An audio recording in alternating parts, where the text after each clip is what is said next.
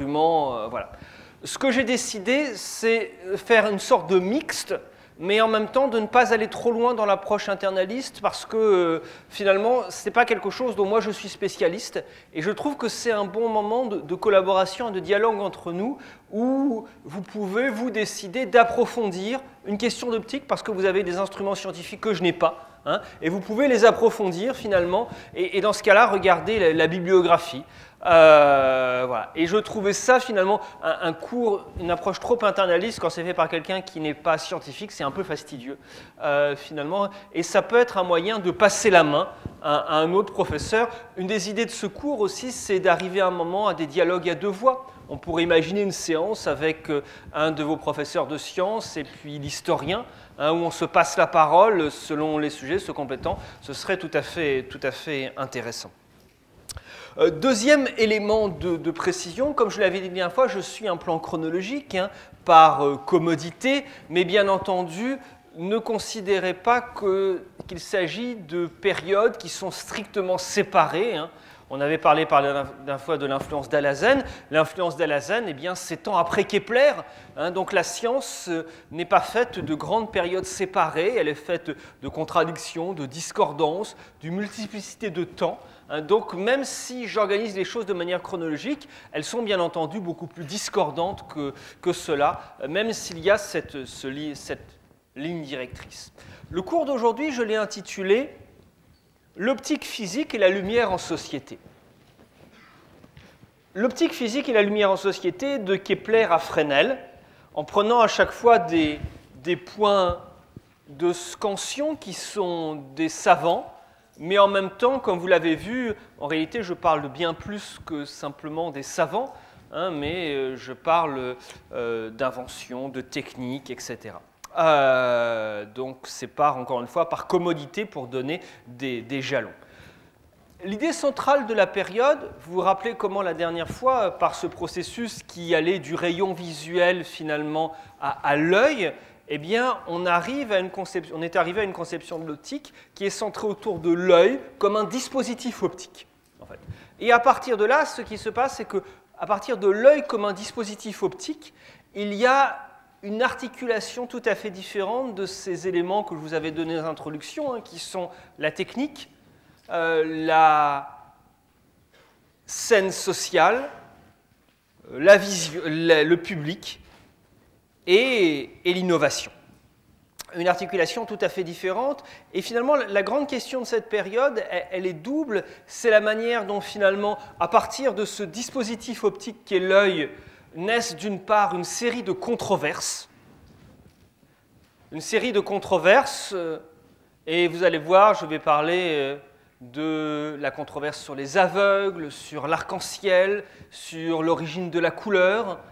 Euh, donc une série, et tout se noue à partir de, l'œil. Et, la deuxième chose qui se fait, c'est que l'œil comme dispositif optique, eh bien, il va créer de manière assez formidable cette, scène sociale, finalement, où, l'optique est un instrument durant cette période qui va profondément transformer la société, hein, en permanent, en devenant un outil euh, d'une efficacité tout à fait nouvelle euh, et un outil qui va fasciner les contemporains par sa portée euh, philosophique et politique. C'est ce que je vais montrer aujourd'hui. L'optique physique et la lumière en société de Kepler à Fresnel. Alors que si vous retournez sur la période précédente, vous avez vu comment dans la période précédente, la question de l'optique était beaucoup une histoire de beaucoup plus de, de savants, hein, même s'il y avait, c'était deux mondes séparés, un petit peu le monde de lunetiers et des savants, c'est une histoire de mathématiciens, une histoire très formelle, très complexe, de géométrie. hein. Là, on est, comment dire, dans une imbrication plus, plus forte. Euh, controverse scientifique.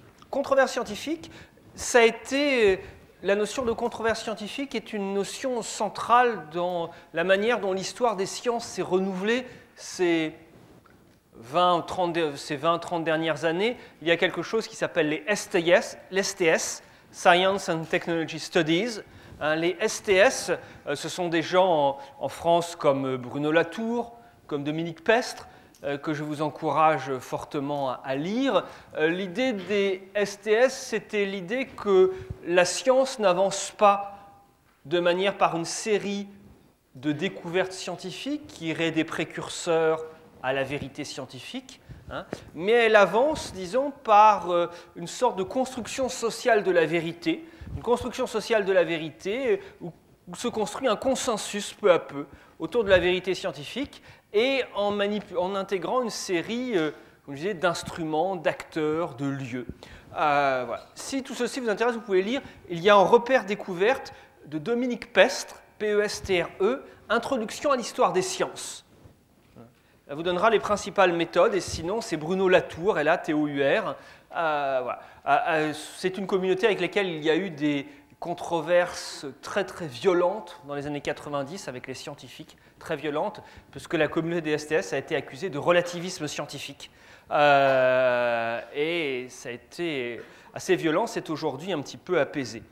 la construction, la collection Repères Découvertes, d'ailleurs, je le mentionne si vous voulez vous intéresser à ce que je fais, je viens de sortir avec des collègues l'introduction à l'histoire environnementale, hein, donc à quatre voix. Euh, et vous verrez, comme je vous l'ai dit, je ne traite pas direct, mes travaux ne portent pas directement sur la partie scientifique de l'optique, mais néanmoins, il y a ce point commun, cette articulation, c'est que l'histoire environnementale traite de tout ce qui est autour des hommes. Et c'est comme cela, à travers le paysage, à travers les dispositifs de vision, que je suis venu à m'intéresser à cela, même si précisément je ne suis pas un historien de la science optique. Hein, comme je, à partir de mes travaux de, recherche. Ah, donc dans cette collection-là, il y a le travail de Mick Pest. Alors, en histoire des sciences, il y a une notion de controverse scientifique. La notion de controverse scientifique reposait sur l'idée que finalement, pour comprendre comment la science se construit, eh bien, il faut étudier les moments de désaccord, les moments de controverse, les moments de désaccord, parce que ça permet d'abord de saisir, de faire de l'histoire de la science à partir des perdants, à partir des erreurs, qui parfois apprennent plus que les vainqueurs. Et ça permet de comprendre comment se construit le consensus scientifique. Et enfin, la controverse permet de saisir la science en société, comment la science est liée à des débats qui sont plus, plus généraux. Et donc, c'est cette notion de controverse que je vais suivre, plutôt que de faire là une histoire des, théories de, l'optique sur la période. Je vais présenter ces théories optiques à partir des controverses. Première controverse, la question de l'arc-en-ciel. La question est la suivante. C'est une question ancienne. Euh, c'est une question qui existe au moins depuis Aristote en particulier. C'est comment expliquer la forme de l'arc-en-ciel. Comment expliquer la forme de l'arc-en-ciel et notamment comment rendre compte de la disposition des couleurs? Il y a notamment une bande sombre qui s'appelle la bande d'Alexandre. Comment expliquer l'amplitude entre les deux arcs principaux?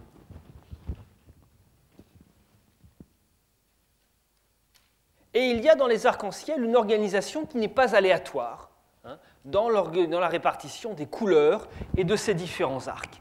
Et c'est une question euh, tout à fait complexe en termes optiques. Euh, cette question, elle est formulée par Aristote d'abord. Elle est formulée par Aristote et, quelle est sa, théorie et, vous allez voir qu'il se heurte à, une difficulté. Il se heurte à une difficulté principale, c'est celle qui est, c'est la difficulté d'expliquer, euh, la lumière.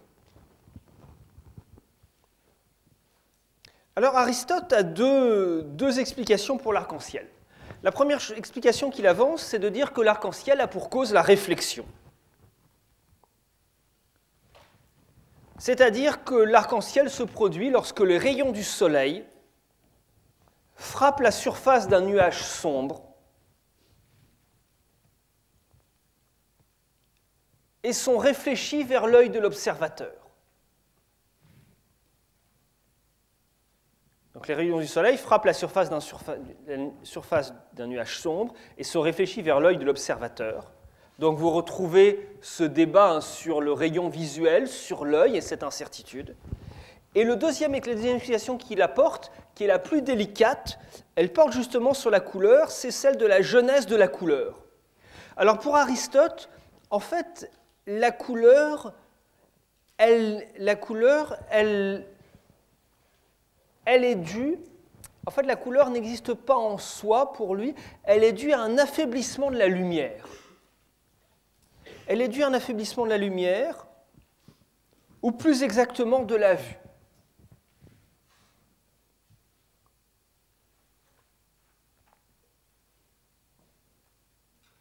Et donc, pour Aristote, pour le dire en d'autres termes, il y a une lumière qui est blanche, pure, homogène. Les couleurs ne sont pas dans la lumière. Il y a une lumière qui est blanche, pure et homogène. Et les couleurs naissent d'une modification de cette lumière. Et donc, vous retrouvez la question de la lumière comme objet avec des propriétés. On est bien à ce moment d'avant où il est difficile de, saisir cela. Euh, prenons exemple encore plus précis sur Aristote. Comment explique-t-il la succession des couleurs euh, Eh bien, la succession des différentes couleurs dans l'arc-en-ciel, pour lui, est due au moment, au fait que la lumière devienne plus faible ou plus sombre. Lumière plus faible ou plus sombre, euh, par exemple le rouge. Le rouge est pour lui une lumière qui contient plus de blanc et moins de noir que les autres couleurs. Le vert contient plus de noir et moins de blanc que le rouge. Le violet encore plus de noir.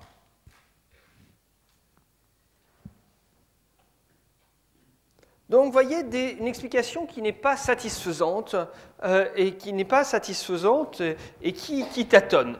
Et cette difficulté à expliquer, elle se retrouve aussi du côté de la peinture. Il y a toute une cette controverse à son pendant du côté de, la peinture, puisque la grande difficulté pour un peintre, c'est comment représenter fidèlement euh, un arc-en-ciel. Comment représenter fidèlement un arc-en-ciel? Léonard de Vinci en traite dans son traité de la peinture, comment répartir les couleurs, comment dessiner les arcs le plus fidèlement possible.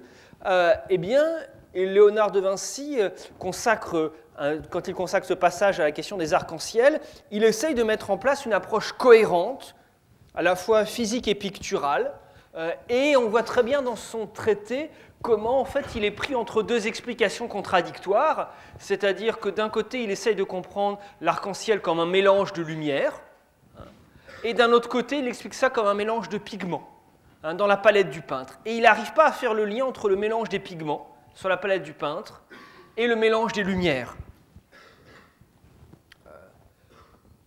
Une citation intéressante du traité de la peinture est L'arc en soi n'est pas dans la pluie, ni dans l'œil qui le voit, mais est engendré par la pluie, le soleil et l'œil. Et vous voyez, donc c'est exactement cela la controverse. Comment mettre ensemble, articuler la pluie, le soleil et l'œil? Et bien entendu, c'est, euh, comment dire, il se heurte à, cette, difficulté. Euh, ce qui fait que lorsqu'on regarde la peinture, les peintures, eh bien, il y a un certain nombre de représentations d'arc-en-ciel qui sont fausses d'un point de vue optique pendant assez longtemps. Ici, vous avez un tableau de Turner qui est ancien, 1803, euh, et c'est intéressant parce que, en fait, celui qui va véritablement réussir à expliquer l'arc-en-ciel de manière définitive, c'est Newton avec sa théorie de la couleur. 1803, Turner connaît euh, les travaux Newton qui sont largement diffusés. Et eh bien, néanmoins, il peint un arc-en-ciel aristotélicien. Hein. Ça, c'est un arc-en-ciel aristotélicien, euh, parce que vous le voyez, eh bien, on retrouve l'arc-en-ciel. Il y a très peu de couleurs dans cet arc-en-ciel, vous voyez en fait, on voit que cet arc-en-ciel de Turner, en 1803, c'est un mélange de clarté et d'obscurité. Il le pense toujours de cette manière.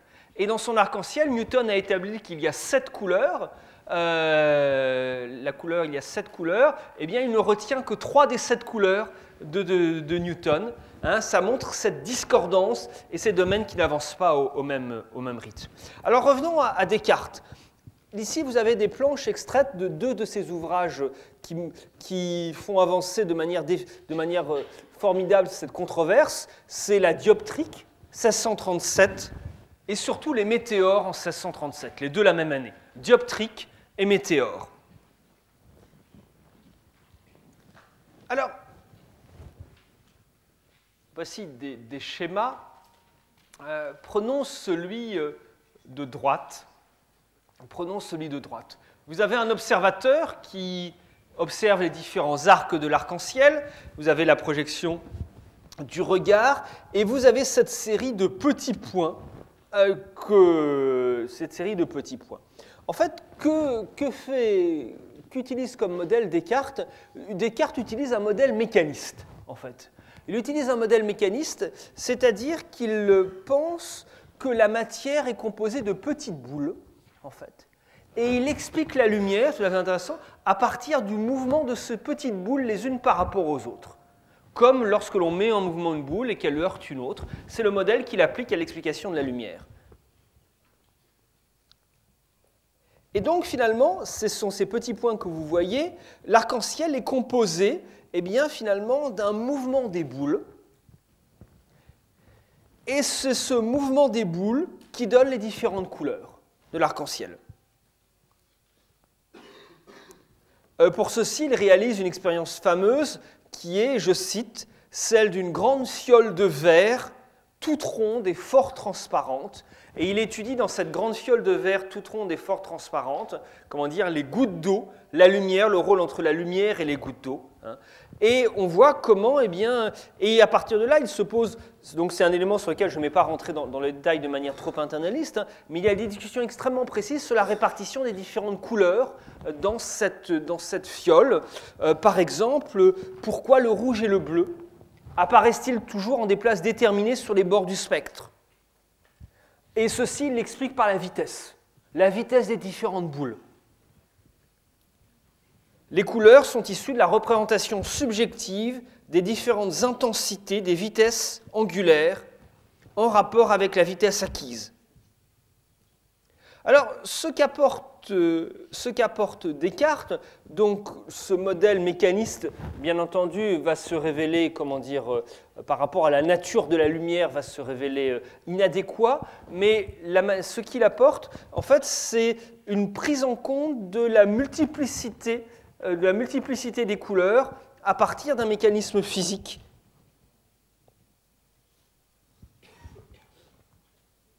Et, c'est là qu'il y a euh, une reformulation complète de la théorie par rapport à celle qu'avait Aristote. Euh, je vous cite un extrait des Météores, le discours huitième. L'arc-en-ciel est une merveille de la nature si remarquable, et sa cause a été de tout temps si curieusement recherchée par les bons esprits, et si peu connue, que je ne saurais choisir de manière plus propre à faire voir comment, par la méthode dont je me sers, on peut venir à des connaissances que ceux dont nous avons les écrits n'ont point eu. Et la question qui est très importante dans cette citation, c'est qu'on voit comment, même si une partie de sa théorie est inadéquate, eh bien en fait, il renouvelle l'approche en passant par une méthode expérimentale, celle de la fiole avec les gouttes d'eau. Hein. Et, c'est bien le lien avec la méthode expérimentale et l'optique qui reformule la, qui reformule la controverse. Euh, celui qui va résoudre de manière définitive euh, la controverse, c'est Newton, puisqu'on voyait que Descartes n'arrive pas encore à une théorie de la couleur satisfaisante. Euh, c'est Newton qui, le fait. Alors sur Newton, on pourrait passer, comme chacun des éléments de ce cours, on pourrait passer une année entière, hein. donc je vais malheureusement être, très rapide. Hein. Sur quelques éléments. Hein. Newton naît en 1642, l'année de la mort de Galilée. Euh, et son, père est décédé quelques mois, quelques mois auparavant. Il est retiré de l'école à 14 ans. Et là, il, euh, apprend lui-même un certain nombre d'expériences. Hein. et il y a, comment dire, euh, dans une partie des travaux de Newton sont pendant un certain temps euh, non public, euh, parce que euh, c'est dû notamment à l'épidémie de peste de 1665, la grande épidémie de peste qui ravage Londres, et qu'il fait qu'il est, comment dire, eh bien, il étudie chez lui pendant cette épidémie de peste pendant 18 mois. et c'est l'épidémie de peste qui fait 70 000 morts à Londres, celle de 1665. Et c'est dans ce moment-là, ce moment hors dehors de l'université, où il commence à travailler sur, sur l'optique et sur la théorie de la lumière. Et de manière tout à fait indépendante, à l'écart des obligations scolaires, euh, c'est tout, à fait, tout à fait intéressant. C'est tout à fait intéressant aussi parce que les théories optiques de Newton ne seront, seront pendant longtemps euh, à l'état de brouillon, de communication faite directement à certains de, de ses élèves à Cambridge et publiées relativement tardivement. hein, puisqu'en fait, il faut attendre 1704 avec la publication du traité d'optique pour avoir la publication imprimée de ces théories. Mais en réalité, sa théorie de la lumière, elle apparaît dans ses brouillons dès les années 1670-1672. Un premier article est publié dans les Philosophical Transactions en 1672. Et ce que l'on voit très bien, c'est que ces travaux sur l'optique, il les mène euh, à partir, euh, ces livres de chevet, ce sont les dialogues de Galilée, la géométrie de Descartes et les travaux de Kepler. Donc on retrouve cette filiation. Euh, et ce lien dont j'avais parlé, qui est aux origines de l'optique, entre l'optique, la lumière et le mouvement des planètes, hein, même si peu à peu ce sont des choses qui vont se séparer, au départ il s'agit bien du même type de, comment dire, du, même type de, travaux. Euh, Alors, quelle est, la, théorie, des, Lumières? Euh, Newton est nommé en 1669 à Cambridge, à, à 27 ans. Euh, comme professeur de mathématiques, c'est un poste très important, et il, tient, il tient doit cette nomination notamment à ses travaux sur la longueur des arcs de courbe, et à une invention, son premier télescope. Il, utilise un télescope qui utilise euh, plusieurs miroirs euh, et qui impressionne la Royal Society. C'est un télescope qui donne des images neuf fois plus grandes qu'avec une lunette quatre fois plus longue. Alors, j'en arrive à la question des lumières. Le premier moment où il communique publiquement sur sa théorie de la couleur, c'est en février 1672. Au départ, si on regarde les premiers travaux de Newton, il est clairement dans un cadre aristotélicien et il s'en écarte, écarte peu à peu. Euh, il s'en écarte peu à peu parce que la manière dont il s'en écarte, c'est qu'au début, il essaye de travailler avec ce cadre, avec la lumière blanche. Il s'en écarte en aboutissant, quand il pose l'idée que la lumière blanche est un composé de lumière de toutes les couleurs. C'est ça son idée fondamentale. Et qui fait tomber la théorie aristotélicienne. La lumière blanche, c'est un mélange de lumière de toutes les couleurs. Et vous avez ici de représenter euh, un tableau postérieur, Giambattista Pittoni, monument allégorique à Isaac Newton, euh, pardon, ma, reproduction est de très mauvaise qualité, complètement raté.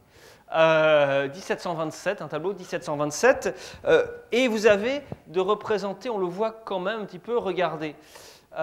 regardez, vous voyez ici, regardez, ici vous avez l'urne funéraire de Newton. L'urne funéraire de Newton. C'est symbolique, regardez, d'ici au-dessus surgit un rayon lumineux. Ce rayon lumineux frappe un miroir le rayon lumineux est renvoyé vers un prisme, et ce prisme renvoie, comment dire, décompose la lumière en différents faisceaux de, couleurs. C'est-à-dire que Newton utilise ce que vous avez ici. C'est un, un, outil scientifique avec deux petits prismes, deuxième moitié du XVIIIe siècle. Je vous rappelle ce qu'est un, prisme, euh, vous le savez mieux que moi. Hein. C'est un volume constitué par au moins deux surfaces planes inclinées l'une sur l'autre. Hein, c'est un volume constitué par au moins deux surfaces planes inclinées l'une sur l'autre.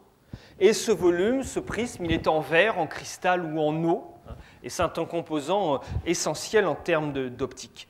Donc ce que vous avez sous les yeux avec ce tableau, c'est ce qu'on a appelé l'expérience cruciale de Newton sur la théorie de la couleur. L'expérience cruciale de Newton sur la théorie de la couleur, que fait-il Alors là, c'est un tableau, euh, comment dire, euh, mis en scène. Comment était l'expérience réelle?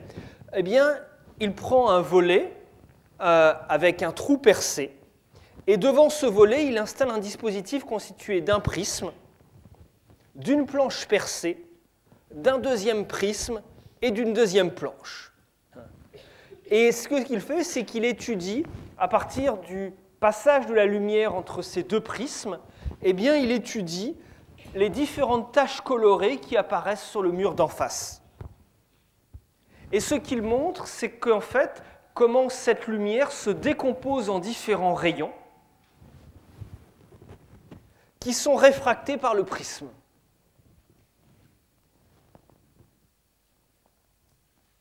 Et c'est bien donc cette manière, donc c'est bien cette décomposition de la lumière en différents rayons hein, qui permet d'établir que la lumière blanche est un composé de différentes, de différentes couleurs.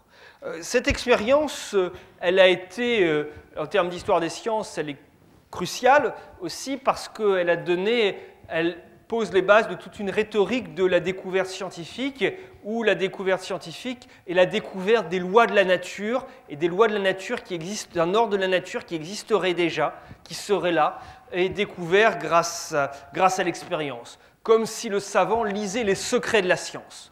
Et il y a dans le texte de, Newton, qui est assez fascinant, une manière de raconter l'expérience qui obéit totalement à cette démarche, hein, mais c'est une sorte de reconstruction puisqu'en fait, ça a été fait au départ euh, de, théories qui étaient parties sur une mauvaise piste, d'essais, d'erreurs. Hein. Hein, mais il y a cette rhétorique de la découverte scientifique où l'expérience révèle les secrets cachés du, monde.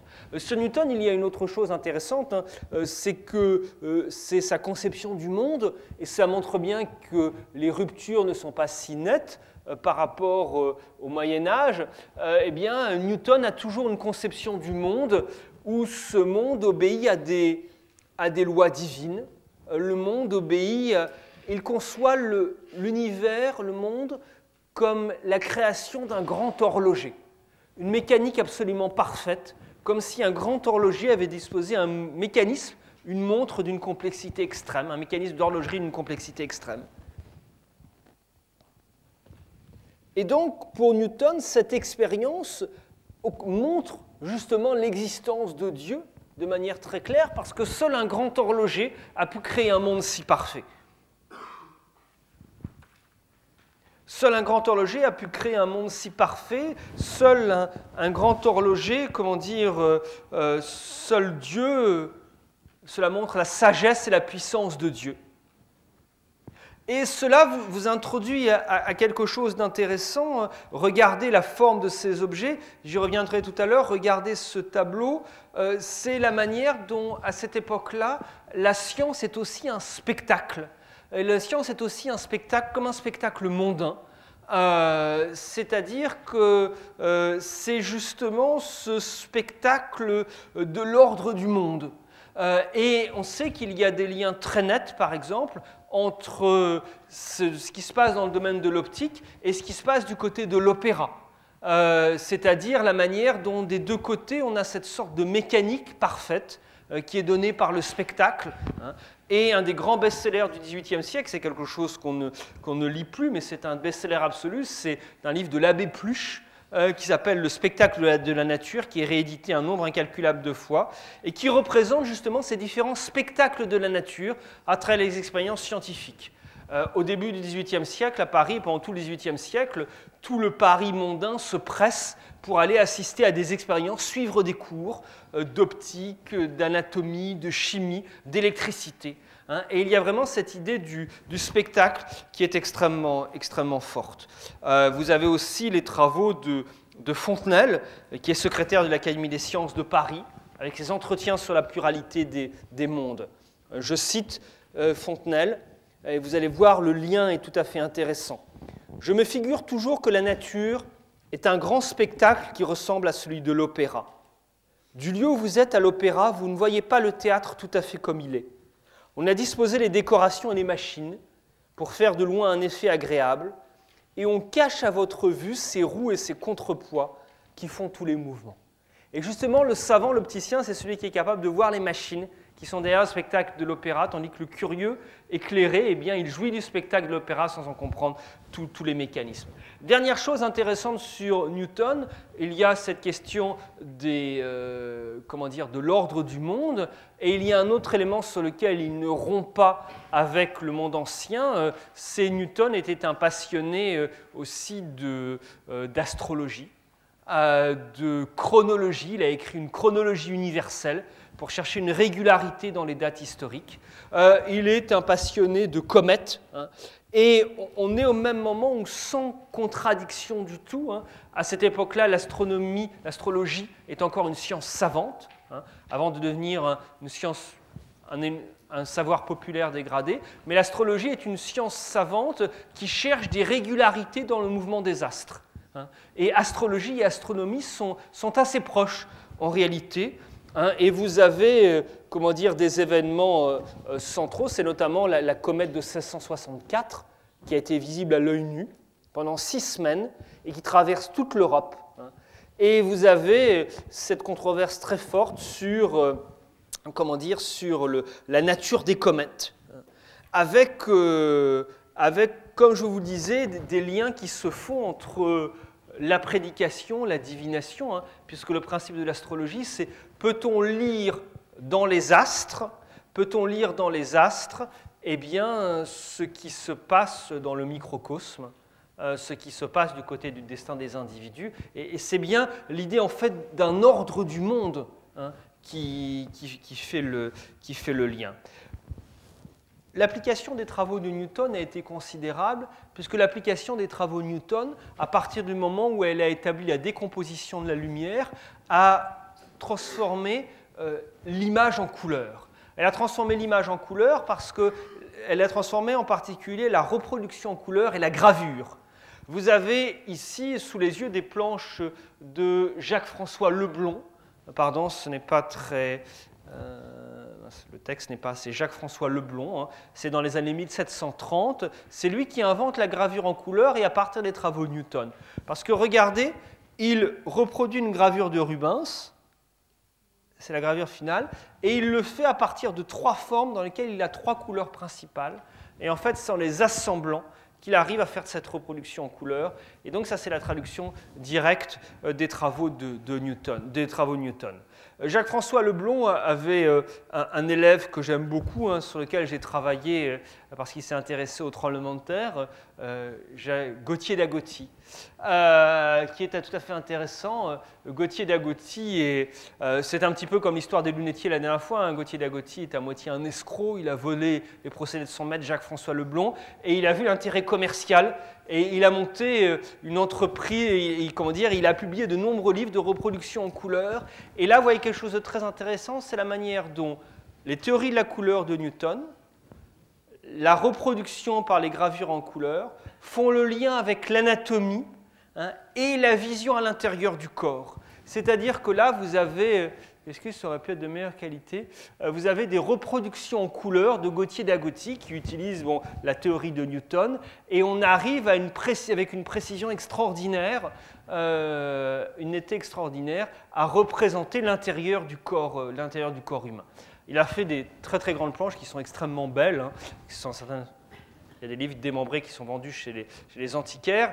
Et Gauthier d'Agotti, c'est intéressant, a été, redécouvert. Il y a notamment des images célèbres pour regarder en, ligne qui s'appelle L'ange anatomique, euh, qui a été redécouvert par les surréalistes et par André Breton, euh, qui représente une femme vue de, dos, de trois quarts, avec le dos coupé comme au scalpel, hein, la peau qui s'ouvre comme des ailes, en fait, et on voit l'intérieur et les chairs.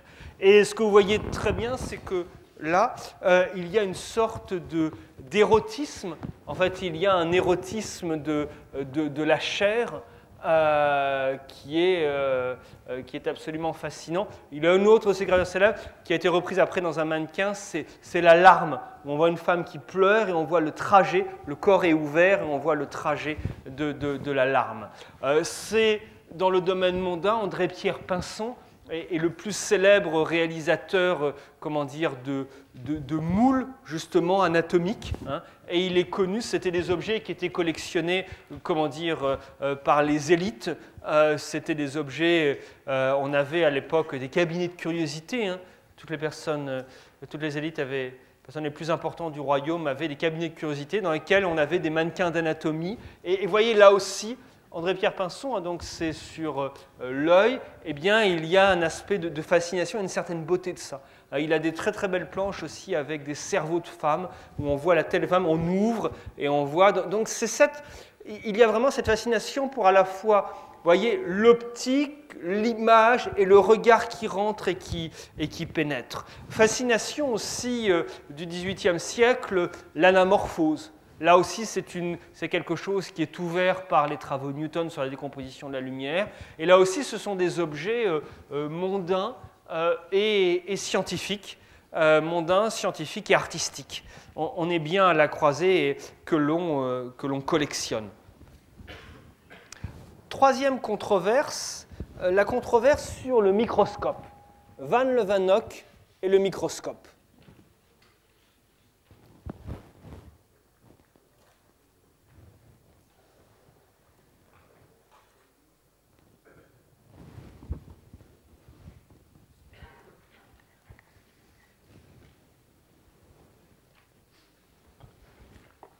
Là, on, change de domaine, mais il y a un point commun, hein, c'est celui du jamais vu de la matière, euh, c'est celui des perspectives nouvelles ouvertes au regard et à la science. Van Leeuwenhoek, son itinéraire est intéressant. On retrouve cette histoire des lunetiers, enfin des apprentis. Euh, euh, Van Leeuwenhoek, il, est né à Delft en 1632, d'un père Vanier, lui-même fils de Vanier. et il est apprenti chez un drapier d'Amsterdam. Ensuite, il retourne à Delft, il s'installe comme drapier. Euh, c'est un de ces bourgeois qu'on voit dans les tableaux de, Rembrandt, ces bourgeois d'apparence grave, sérieuse, euh, et il exerce des fonctions municipales euh, dans sa ville, ville qu'il ne quittera plus jamais. Il est inspecteur des poids et mesures, il est jaugeur des vins et alcools. Le rapport avec l'optique semble loin, en fait en réalité non, Rappelez-vous ce qu'on avait vu avec la lunette, comment euh, la Hollande du XVIIe siècle est une, plaque tournante, euh, est une plaque tournante euh, commerciale, intellectuelle, artistique. Et finalement, vous avez une circulation, une circulation autour qui converge vers le fait de percer les secrets de la nature par la vue. Un des tableaux les plus célèbres de Rembrandt, c'est la leçon d'anatomie, hein, qui, euh, euh, qui est peinte l'année de la naissance de Van Leeuwenhoek. Et Van Leeuwenhoek naît euh, l'année où Galilée en Italie observe le ciel. Et donc c'est toutes ces circulations européennes et qui tournent encore une fois ce commun, qui est, qui est la vue, le regard, percer les, secrets. Et le regard, c'est justement la préoccupation de, de Van Leeuwenhoek. Il n'a pas inventé le microscope, mais en revanche, ce qu'il fait, c'est qu'il va euh, considérablement perfectionner ce microscope par la manière d'associer deux lentilles. Il invente les meilleurs instruments, et ces instruments resteront parmi les meilleurs jusqu'au XIXe siècle, avec un principe, il utilise un principe très simple, une minuscule lentille coincée entre deux feuillets de métal.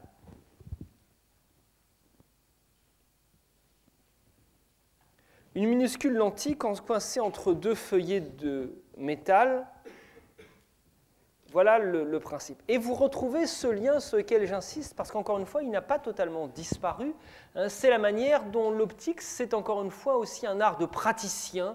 Il y a cette sorte de bricolage euh, dans les shops, dans l'atelier. Hein. et, pour en avoir discuté avec certaines personnes ici, hein, il y a cette question du geste.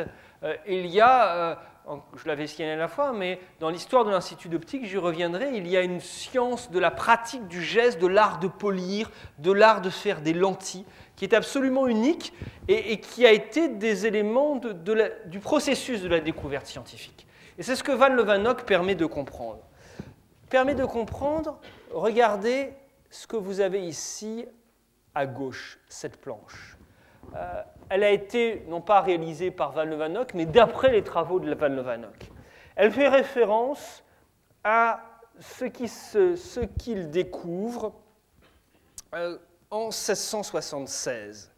Euh, il a son micromètre qu'il a réussi à perfectionner petit à petit de manière extrêmement importante, et nous dit-il, je cite, le 2 juin 1676, il était à peu près 11 heures du soir quand je vis quelques très petits animalcules vivants dans l'eau.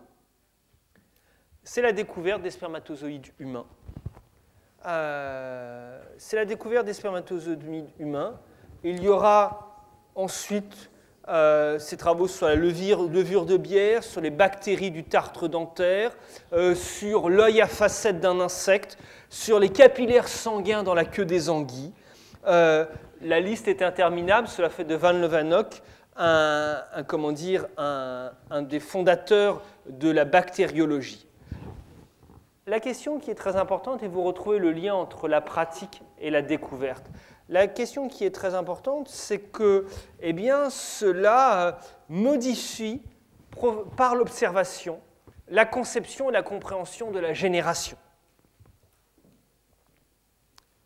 Euh, la conception, il y a jusque-là une, euh, une grande controverse euh, sur la génération qui date de l'Antiquité pour la théorie qui a été en vigueur pendant longtemps, hein, c'est de dire, c'est d'essayer de comprendre lorsqu'il y a un enfant d'où viennent ses caractères.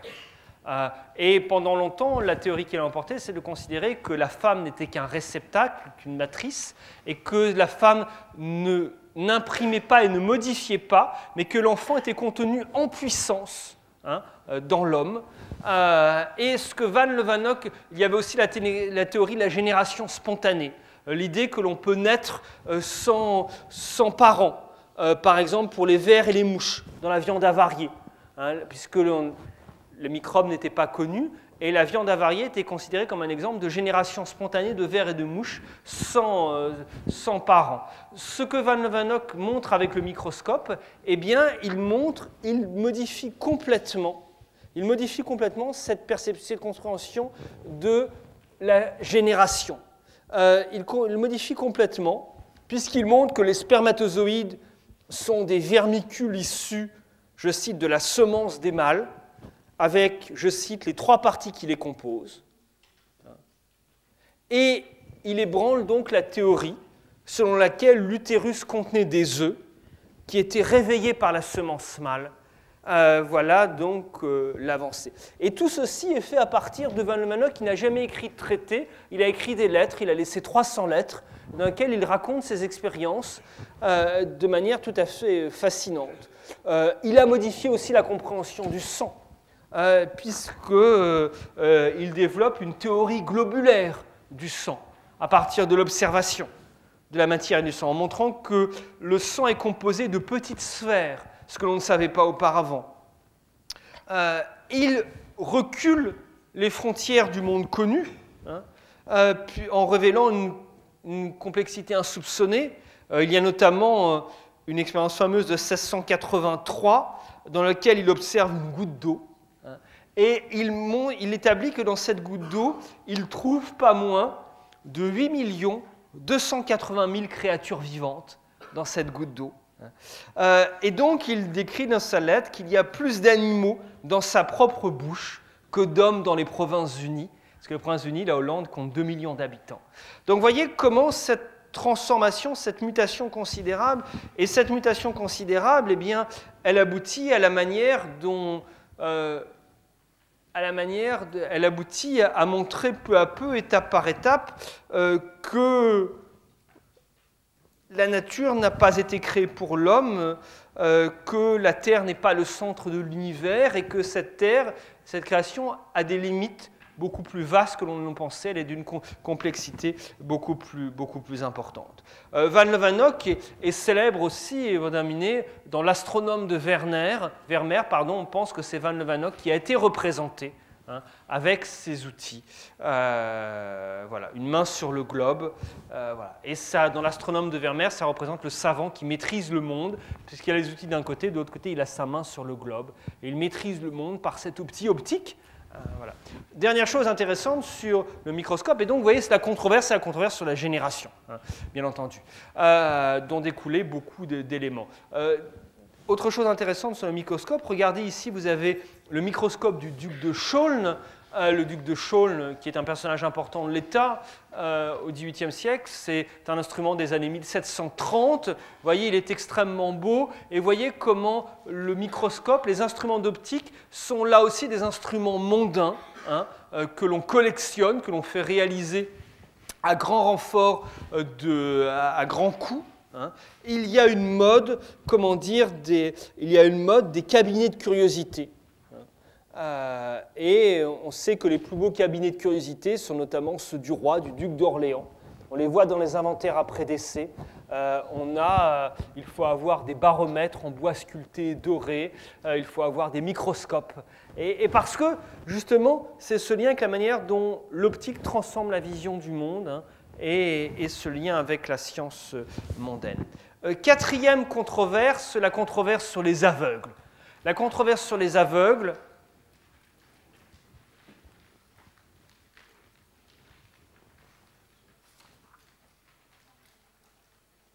Et là, c'est la question euh, de Diderot, Diderot et les aveugles.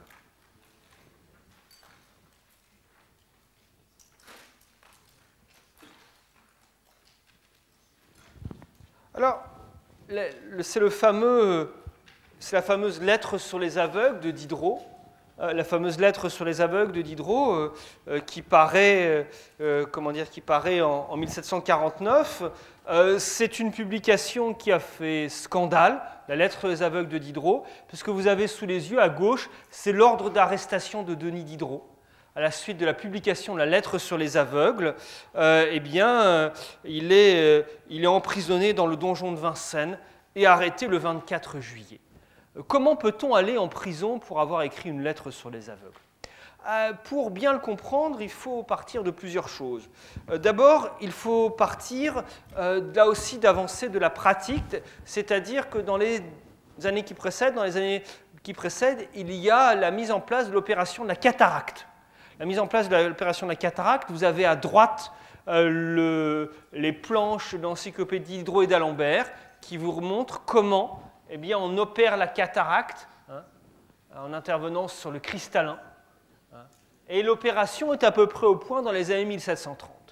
Et cette opération, elle pose un problème philosophique crucial, puisqu'en fait, on a des gens qui se mettent à avoir une vue différente que celle qu'ils avaient, ou que celle qu'ils avaient depuis la naissance. Et donc la question centrale, c'est le lien entre le regard et la connaissance.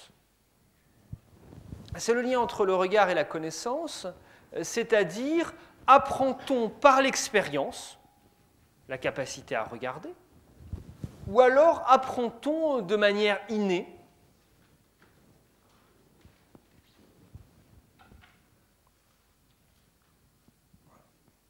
Prenons le cas Diderot part d'un cas très précis, un aveugle de naissance euh, qui retrouve la vue. Il n'a pas pu apprendre par l'expérience, hein, puisqu'il était incapable de voir. On lui avait décrit, euh, euh, ce que, alors on peut former des images, hein, mais on lui avait décrit le monde extérieur, on a pu lui lire des textes, on a pu lui parler, mais il n'a jamais eu d'expérience des trois dimensions. Donc lorsqu'il se met à voir, comment forme-t-il cette image, comment dire, que peut-il, cette expérience nouvelle, modifie-t-il sa perception, sa compréhension, ou alors l'idée était-elle déjà là? Euh, Comment euh, apprend-on à se repérer dans l'espace, à identifier des formes, à percevoir des distances et des volumes?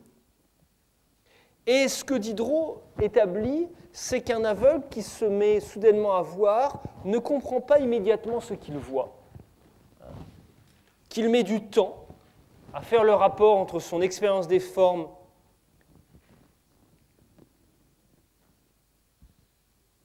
et ses différents sens. Et notamment, Diderot insiste sur l'importance du toucher. Sur l'importance du toucher, parce que le toucher permet d'avoir l'expérience de la distance, hein, et il y, a entre, il y, a un lien entre le toucher et le regard, et les images que l'on perçoit.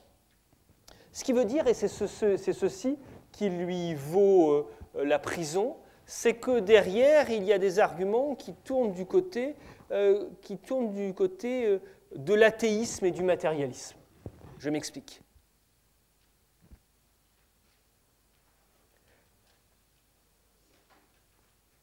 Du côté de l'athéisme et du, matérialisme, c'est-à-dire que l'on apprend par l'expérience et par la perception de chacun. Cela signifie aussi que la morale dépend de la sensibilité personnelle, qu'elle n'est plus universelle.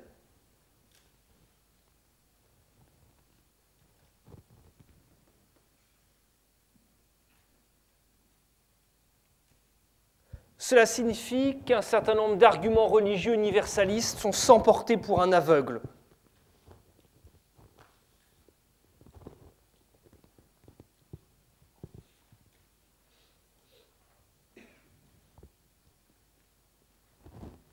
Cela signifie l'importance du rôle de l'éducation ainsi.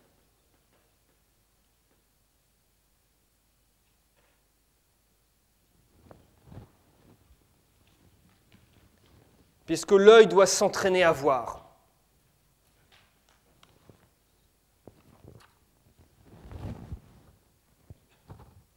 Cette controverse, elle a des prolongements. Elle a des prolongements puisque elle touche, et c'est quelque chose sur lequel je reviendrai par rapport à l'ordre social, c'est-à-dire que dans la question de la vision, il, y a la dimension, la mise en ordre du monde, mais aussi au sens policier. Je parlerai des travaux de Michel Foucault sur la prison, sur le panoptique, euh, la prochaine fois. Euh, il y a, euh, comment dire, avant, au moment de cette controverse, la condition des aveugles est tout à fait négative. Il y a cette catégorie, Michel Foucault l'a bien montré, hein, la catégorie des fous et des indigents. et des anormaux est une sorte de grand mélange hein, dans lequel on, met tous, les, inutiles, tous les déviants. Euh, le fou, l'aveugle, euh, le, criminel, euh, et vous avez une stigmatisation très forte de l'aveugle qui est encore présent.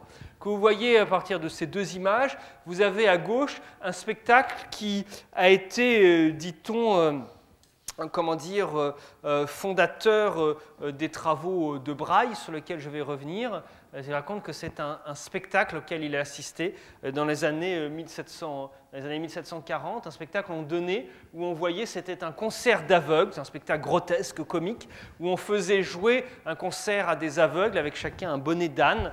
Euh, et évidemment, comme ils ne peuvent pas voir, eh bien, ils jouaient tous de manière discordante. Hein. C'était un spectacle grotesque et comique euh, d'humiliation.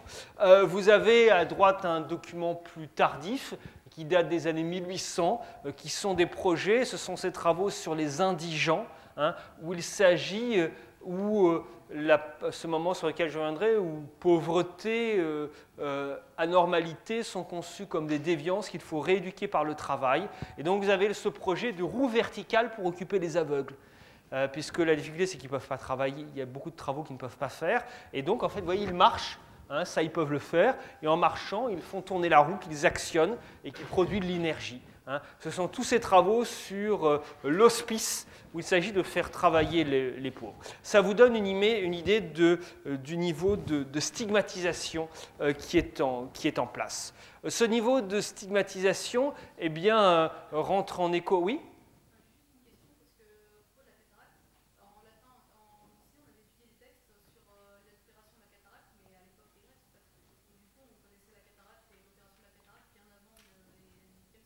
Oui, L'opération de la cataracte, elle était connue bien avant le XVIIIe siècle, mais elle fait des progrès, euh, des progrès décisifs, en fait, euh, techniquement. Mais sinon, les travaux sur la cataracte sont bien, bien plus anciens, effectivement. Mais il y a des progrès décisifs dans les années 1730 qui permettent d'avoir un taux de succès euh, quasiment, dire, un taux de succès quasiment certain, en fait.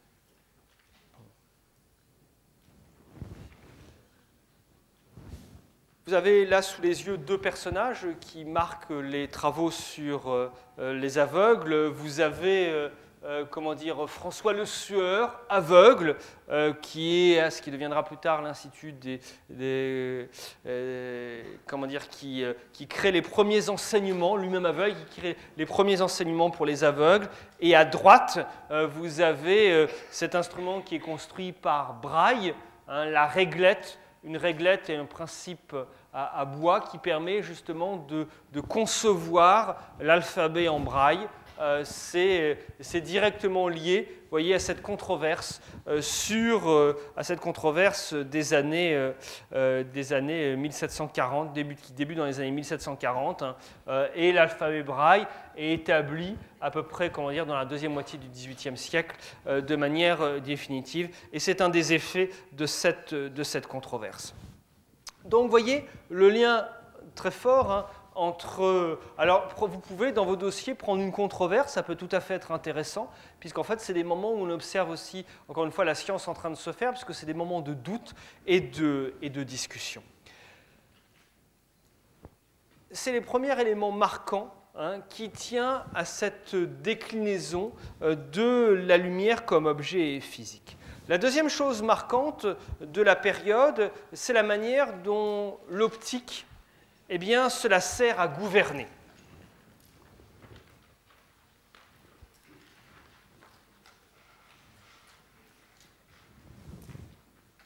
L'optique, cela sert à gouverner, et je vais revenir parce que je l'avais expliqué trop rapidement. Mince. Ah, je ne l'ai pas remis. Mince, je l'avais prévu. Alors là, excusez-moi. Ah. Zut, zut, zut. Attendez, excusez-moi, je fais juste quelque chose. Euh... mince. Bah écoutez, je vous propose de. Il y a une image que j'ai oublié d'insérer. Euh, voilà, qui est ici, caméra obscura. Euh, mais elle va pas. Écoutez, ce que je vous propose, c'est de faire dans ce cas-là la pause maintenant. Le temps que, pour que je puisse insérer. Oui, parce que là, ça n'apparaît pas à l'écran. Donc je vais insérer cette image. Donc je propose de faire la pause maintenant.